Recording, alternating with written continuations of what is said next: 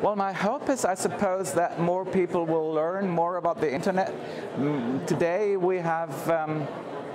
many people, they know how to use Google, they just type something into Google, but they don't know anything about the background. So my hope is that more people will learn about the background of the internet and they will be able to make informed decisions and not just, you know, follow the herd.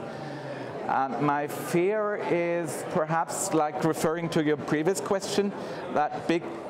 platforms will get more power and